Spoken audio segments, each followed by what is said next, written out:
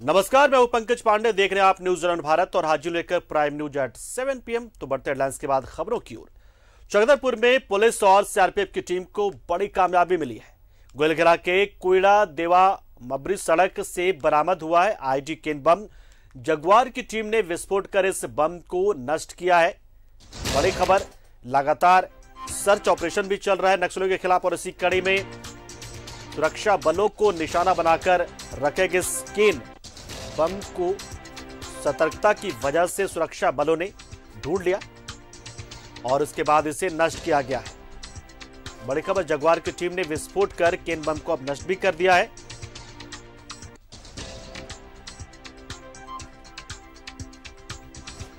तो नक्सलियों के खिलाफ चलाए जा रहे अभियान में पुलिस को ये कामयाबी मिली है। कुड़ा और देवाम्बरी सड़क पर ये केन बम मिला था।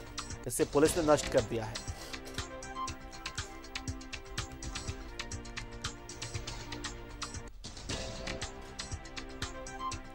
तो बता दें कि लगातार सीआरपीएफ की टीम और पुलिस की ओर से संयुक्त ऑपरेशन के ज़रिए नक्सलियों को घेरने की कोशिश की जा रही थी। सर्च ऑपरेशन चल रहा था और इसी कड़ी में सुरक्षा बलों को ये केन बम मिला।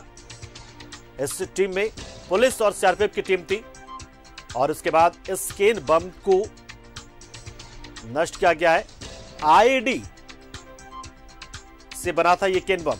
आईडी का इस्तेमाल किया गया था विस्फोटक के तौर पर स्केन बम में, लेकिन समय रहते इसे ढूंढ लिया गया, इस पर नज़र पड़ गई सुरक्षा बलों की, और फिर सीआरपीएफ की टीम ने, जगवार की जो टीम थी सीआरपीएफ की, उसने इसे नष्ट कर दिया विस्फोट करने के बाद।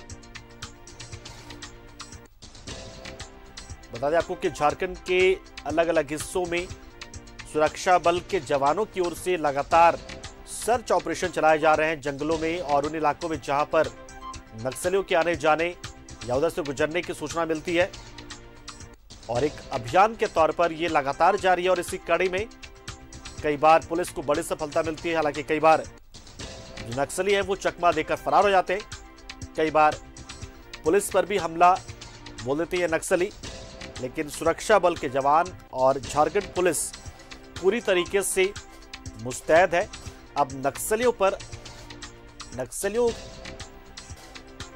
के खिलाफ जो लड़ाई है, वो अपने आखिरी पड़ाव की ओर बढ़ रहा है और पुलिस का ये मानना है कि कुछ ही दिनों में, कुछ महीनों में नक्सल का हम समूल नाश कर देंगे।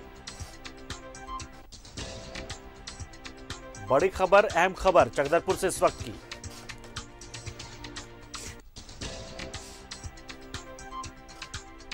तो बता दें कि पश्चिमी सिंहभूम के बहुत सारे जो इलाके हैं, वो नक्सल प्रभावित हैं, चाहे वो चकदरपुर का हिस्सा हो जाए गुलकेरा का हिस्सा हो जाए, या सारंडा के वन हो जाए, ये तमाम इलाके जो ऐसे हैं।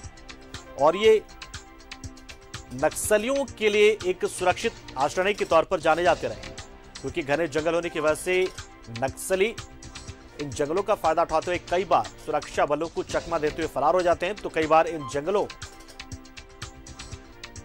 में एम्बुस लगाकर सुरक्षा बल के जवानों को घेर भी लेते हैं। कई बार हमारे जवान भी काल कवलित हुए हैं, शहीद हुए हैं, इन नक्सलियों के नापाक मंसूबे की वजह से। लेकिन इस वक्त जो सुरक्षा बल के हमारे जवान हैं, उन्होंने पूरी तरीके से दबिश दे रखी है और नक्सली भागने को मजबूर हैं। बहुत सारे नक्सली इस दबाव के आगे झुक गए सरेंडर किया है। कुछ नक्सली को पकड़ा भी गया है। लेकिन अब पुलिस इस कार्रवाई को बहुत तेज करते हुए नक्सलियों को एक सीमित क्षेत्र में सीमित करने की कोशिश में जुटी और इसलिए लगातार सर्च ऑपरेशन चलाए जाते हैं और इसमें सीआरपीएफ के जवान और स्थानीय पुलिस का सहयोग रहता है। बड़ी खबर, अहम खबर। और इसी कड़ी में पुलिस और सुरक्षा बलों को निशाना बनाते हुए एक आईडी विस्फोटकों वाला केन बम रखा गया था, लेकिन नज़र पड़ गई सुरक्षा बलों की और समय रहते कि कोई बड़ी दुर्घटना होती, कोई बड़ा हादसा होता, इस केन बम को नष्ट कर दिया गया। तस्वीर आपको दिखा रहे कैसे नष्ट किया गया है। इस तस्वीर को हम आपको दिखाते हैं कि कैसे इस केन बम को नष्ट किया गया है।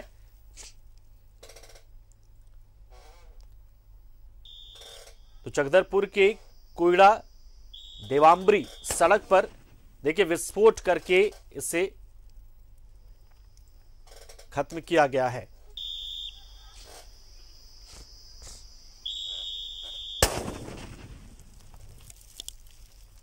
एक बार और तस्वीर आपको दिखा देते हैं।